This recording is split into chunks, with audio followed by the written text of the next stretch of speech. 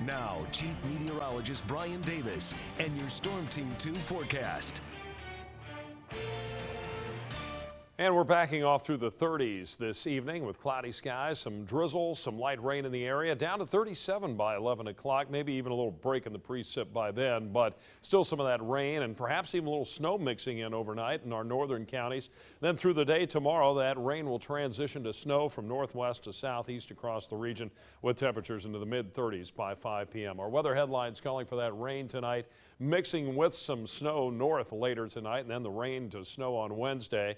And we will see some accumulation. Much colder weather on the way by the time we get to the end of the week because of that potential for some snow and some icing conditions.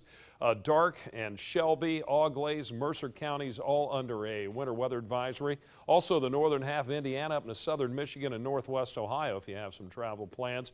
Heaviest amounts of snow will be up toward Fort Wayne to Toledo, four to five, maybe six inches, and then one to three inches north of I-70 up until you get to Mercer and Auglaize counties. Maybe some isolated created four inch amounts in the far north, and then generally south of Interstate 70, an inch or less of snowfall anticipated. Lows tonight dropping into the mid 30s in our area with freezing temperatures northwest. Upper 30s midday tomorrow, but falling afternoon temperatures, and then look for the low temperatures Thursday morning all the way down to the low 20s. So all of a sudden at the end of February, we're going to get some winter weather. We had a lot of road spray today on I-75, some drizzle, some light rain falling out of the sky with cloudy skies on the Bryant Heating and Cooling Cooling Systems camera. Still tracking some of that light precipitation here in the Dayton area, but a little bit of a break to the west of us, although we still could see some drizzle and then mostly some rain showers, light rain showers in the northern part of our viewing area too.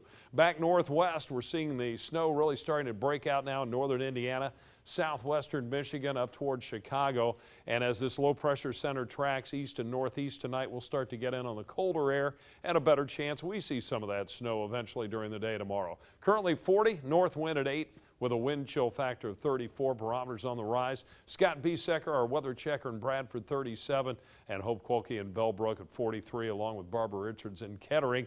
And rainfall totals so far about a half to three quarters of an inch over the past 24 hours. Here's the rain tonight. As I mentioned, could be some snow farther to the northwest, and then we transition over to snow during the day tomorrow uh, with the potential for some of that accumulating snow, especially in the afternoon and evening as it gets colder. And then finally, the clouds clouds break a little bit as we get to Thursday. Your forecast tonight, rain showers. As I mentioned, some snow could mix in up north or transition to snow. Oh, excuse me, overnight low temperature at about 35 degrees.